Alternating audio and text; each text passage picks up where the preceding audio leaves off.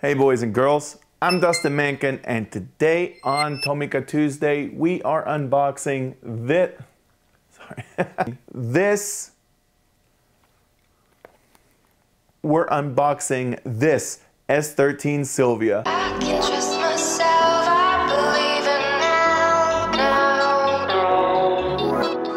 This S13 Silvia from Tomica has a paint job that is inspired by Japanese history.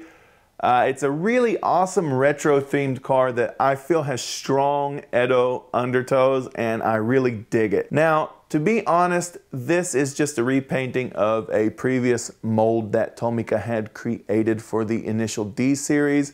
This particular car, if you follow the manga, is driven by Iketani Senpai. There is also a 370Z in the same collection. You can see there's a sticker there, so this is gonna be the one we're unboxing when we get to that. It is also a really cool car, but like the S13, that is another video for another day. But for right now, it is all about this awesome looking blue Silvia. So let's go have a seat at the table and get this guy unboxed. But first I'm going to show you how to open these up safely and I'm going to call this the razor blade and toothpick method because it uses, uh, wait for it, razor blade and toothpick. And I learned this technique from a Japanese friend of mine who also collects mini cars. And we all know that the Japanese want to do everything in their life perfect. So if they said it's good, it's good. Also, I just want to point out that if you cut yourself with a razor or anything, which is entirely possible doing this, uh, I'm not responsible for that. So, uh, so just use this at your own risk. Let's open this guy up. Okay, so this car is wrapped in cellophane and back here is where the flap folds in. You're just going to take your razor blade real gently and just run it right along that line. Okay, don't, don't go too far down or you're going to end up cutting your box. That's good enough. Okay, now, if you want to be extra careful after you open it up a little bit, just bring your razor blade here along this edge and here on the other side along this edge and you'll be able to flip this back. Now, probably what I would do is I would go ahead and very carefully, sorry, I know it's hard to see this with my fingers in the way, but uh, I would very carefully slice that off. And now you can keep the cellophane on the rest of the box if you want to. You don't have to, that's up to you.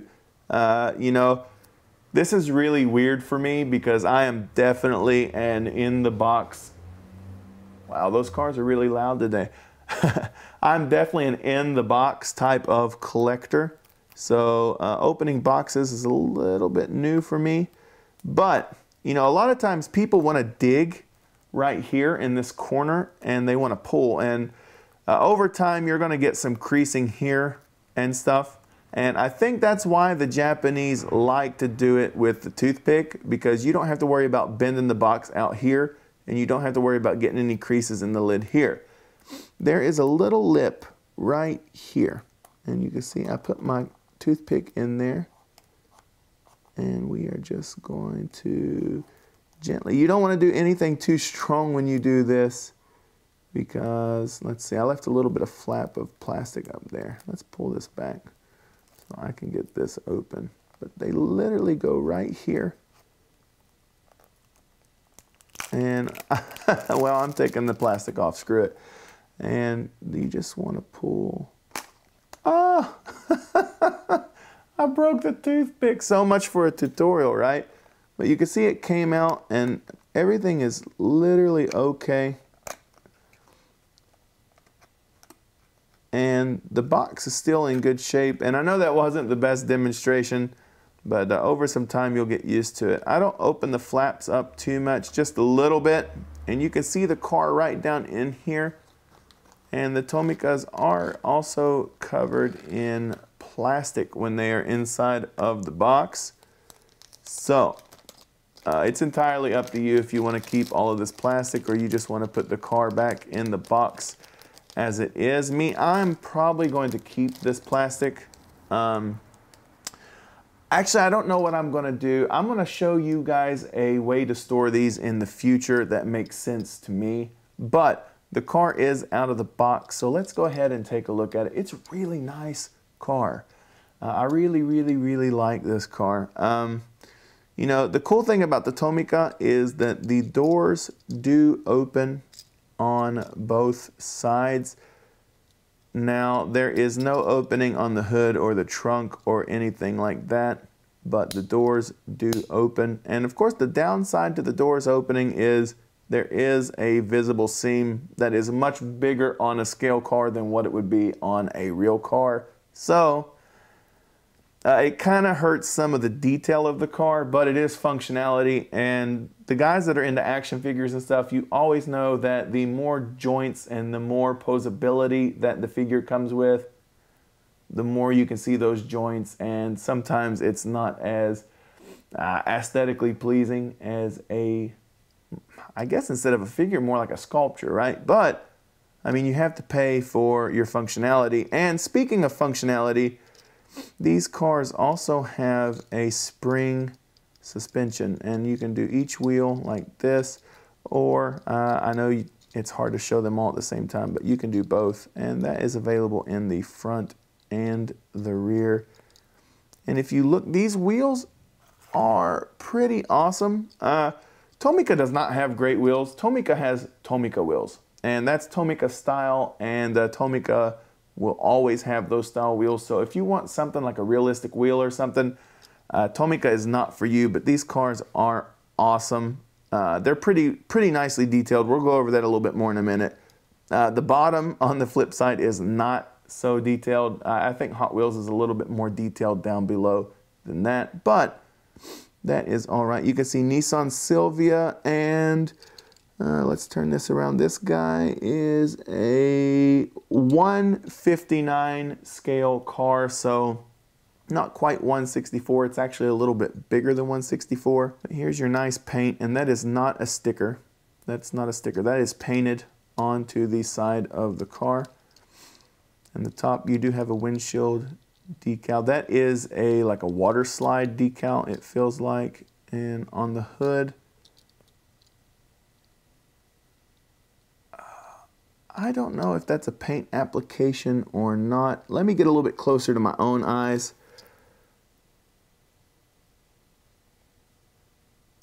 Uh, I think this might be a paint application on top of the clear. I don't know if you can see it in the camera, but it is not cleared with what's below it. But, you know, here's your factory Silvia wing. And oh man, that's awesome.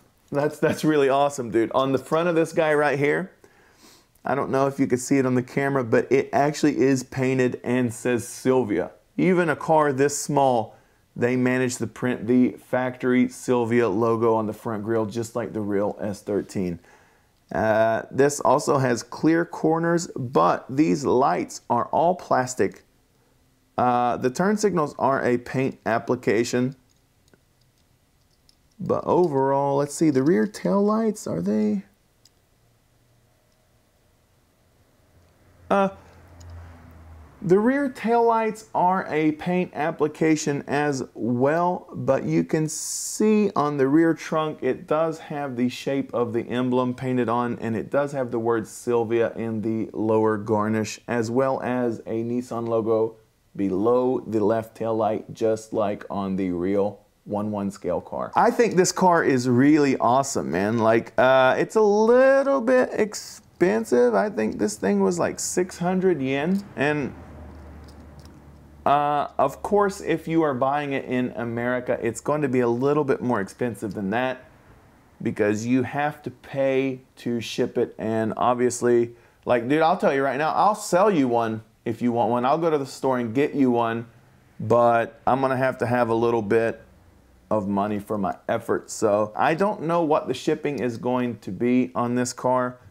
Uh, I'll have to find a small box and everything. So uh, if you're interested and you really, really want one, I will get one to you. And uh, if you're an early buyer, I'm going to have to figure uh, everything out. So please be patient with me, but I will get all this figured out and I can be your hookup for rare Tomica in Japan. That's it for this episode of Tomica Tuesday. I really like this S13 Silvia, and if you are a Nissan fan, a Silvia fan, a Drift fan, or just a mini car collector in general, I would highly recommend that you pick this thing up for your collection.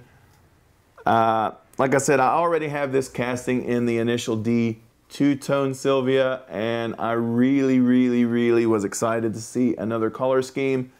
I know it's a little bit wild, and some of you might like a little bit more realistic paint scheme, but I mean, Hot Wheels does not have an S13 Silvia option at the time that I filmed this video.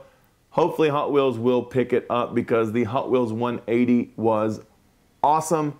But until that happens, if you need an S13 in a small scale, this is definitely one to pick up. Later on, I will open and review the initial DS13, which at the time I'm filming this is getting a little bit harder to find. So if you would like me to go ahead and pick you up one of those, I highly recommend you hit me up in the comments below and we will talk about it. If you guys like this video, please go ahead and click like and share. That does a lot to help the page grow. But if you want to do something for yourself and you are enjoying these Tomica Tuesday videos, do yourself a favor and hit the subscribe button below. Subscribing always has been and always will be for you. That's just so you can see the latest videos from Japan. Not only do I do car unboxing and model car collecting, but I also film drifting in Japan and I also do a lot of stuff about my Japanese life. If that sounds interesting to you, we'd love to have you aboard. Until then, I will see you guys in the next one. Peace. Next week on Tomica Tuesday, we open a premium DR30 Skyline.